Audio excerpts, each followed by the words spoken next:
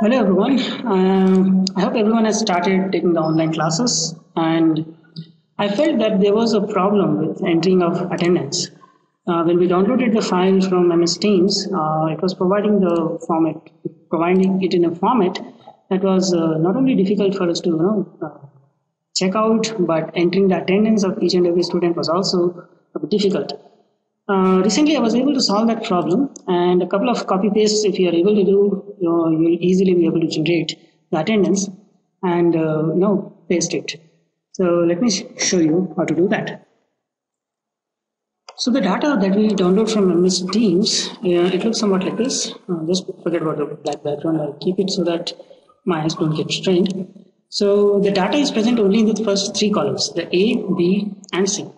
So what you just have to do is you have to select the three columns, right click, click on copy, and there is a file that I have created. Uh, yeah, this one.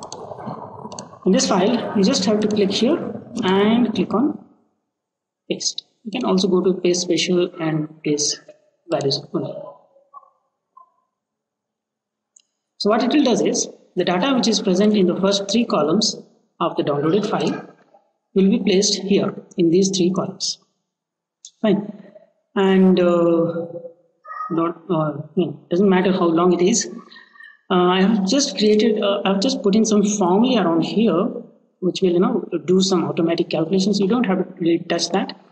And when you go to get the attendance, the attendance of the students will be automatically generated over here. Fine.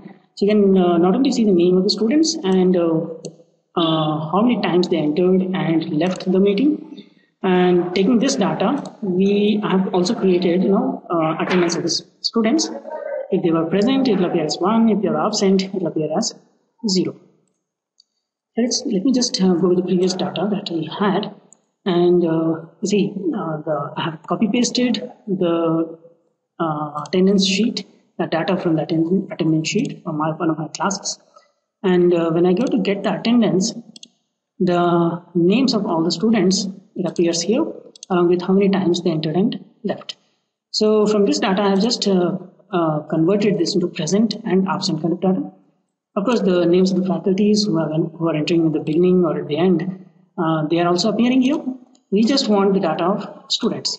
So if uh, the student has not at all entered the class, that means it will appear as zero and he will be marked as absent over here. So I'll just copy the data from the starting roll number that is 47 to the last roll number that is 74. You just have to copy it. If you know the shortcut for this, it is just Control C and after copying this data, I can directly go to this point here and I just have to paste it. So you can see here that uh, I have placed the names and roll numbers of the students in the same order and uh, the data that we get from here will also be in the same order. Fine. Uh, except for the starting and ending few names which are for the faculties. The names the roll numbers are going to appear in the same order that we have around here.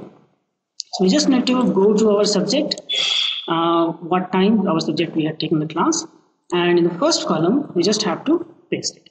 So I suggest doing paste special and paste values only and that's it. All the attendance all our attendance has been entered here automatically. You don't have to go searching and looking for individual names to check out how the data appears. And uh, if all the data for one week is entered here uh, the segregation of that data will appear here how many classes the student was present and what, what was the percentage of uh, classes that he attended. All that data will be you know, created automatically you can also see some the data about each particular class. If uh, the student was present in, I mean, if number of students present in one class were much higher than the number which were present in some other class, we can just uh, try to take some, you know, corrective action. We can uh, try to call the student and try to ask what is the reason because of which he is not attending classes on a regular basis. And such data, you know, it will be very helpful for us to get in touch with the students and try to resolve their problems in a much better way. I hope you enjoyed this video and uh, those of you who really want these formats, they can uh, message me on WhatsApp and I will provide you with a copy of this so that you can start entering the attendance in this fashion. Thank you and Good night.